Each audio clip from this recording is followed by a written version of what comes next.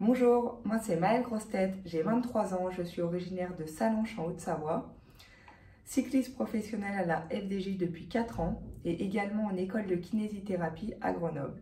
Je tourne cette vidéo depuis mon lieu de stage à l'hôpital. Si je devais me définir, je dirais que je suis dynamique, curieuse, battante et entreprenante. Je pratique le cyclisme depuis l'âge de 14 ans. Avant ça, j'ai fait 10 ans de ski alpin en compétition. Ce que j'aime dans ce sport, c'est la rigueur qu'il inflige, l'adrénaline, la sensation de liberté quand on roule à l'extérieur, le respect avec mes coéquipières et l'esprit d'équipe. En 2021, j'ai terminé deuxième d'une Coupe du Monde, je suis membre de l'équipe de France et j'attaque ma cinquième saison professionnelle. Mes objectifs pour 2022 sont de participer au Tour de France et de remporter une Coupe du Monde. Mon projet est donc d'être au départ du prochain Tour de France en juillet prochain.